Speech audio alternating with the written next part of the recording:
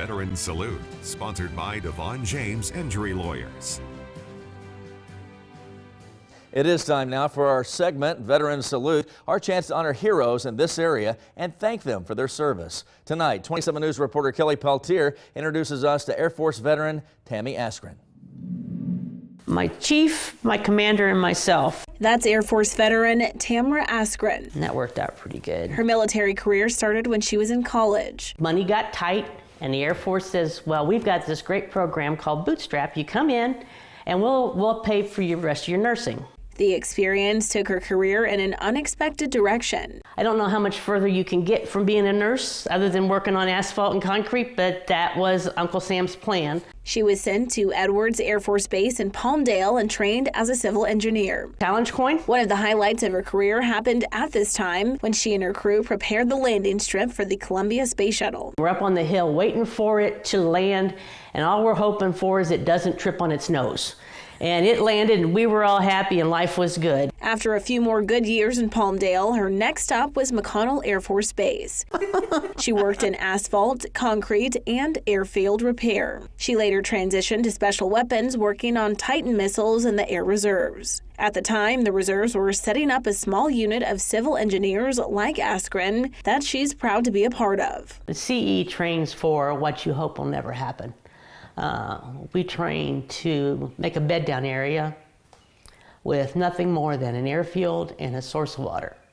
And my team and I could do that. After 30 years of service, her training was put to the test when her commander asked her for her help on a major mission during the United States military's last surge into Afghanistan. I need you and I need you now. He says, We need to build uh, a bed down area for these guys. Thousands of soldiers were traveling out of the war zone and into Kyrgyzstan and needed places to stay. So, with a small crew, Askren and her team built a tent city in 43 days. And this young Marine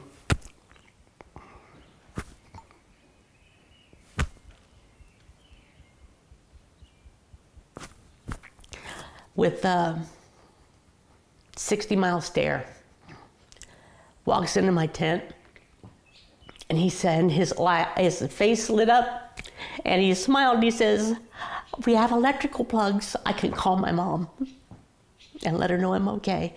And one she'll never forget. That's why I did what I did for all those years, was for that kid. Askren got home to Wichita in 2011 and had a hero's welcome. They just made us feel so welcome back home, and it was it was a tough it was a tough six months. Uh, we didn't get shot at. We just worked really, really hard. And, uh, but we got it done.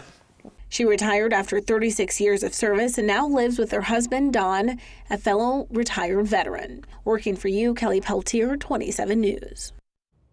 We're highlighting veterans in our community, and we do it every week, just like Tammy. In fact, Tammy's husband, who you just saw there, will also be featured in our Veteran Salute segment in the coming weeks. If you'd like to nominate someone for this particular segment, all you've got to do is go to ksnt.com. You click on this story for information on exactly how to do it. And every week that we do this, each veteran receives a surprise. Take a look.